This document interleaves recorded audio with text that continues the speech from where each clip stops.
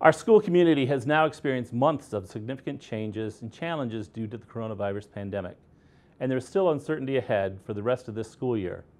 During the summer, we created a plan that included enough flexibility to allow us to change courses in response to the changes with the pandemic.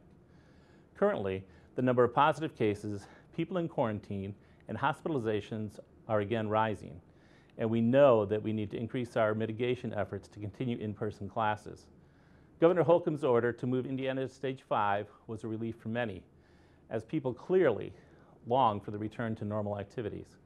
However, the combination of students in school and opening restaurants and businesses at full capacity is not sending numbers in the right direction. We need to continue to be vigilant. Goshen Community Schools needs everyone to continue to wear masks, wash their hands frequently, and physically distance from others.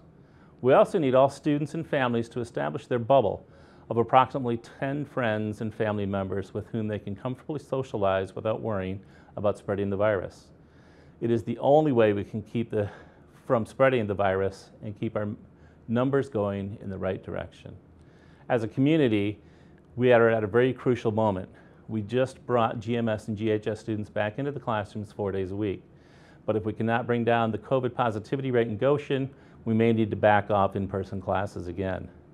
We have fall break coming up, and we know that some families may travel and see people they are not or who are not in their bubble we ask that you continue to wear your masks and be very careful if you plan to travel over the break.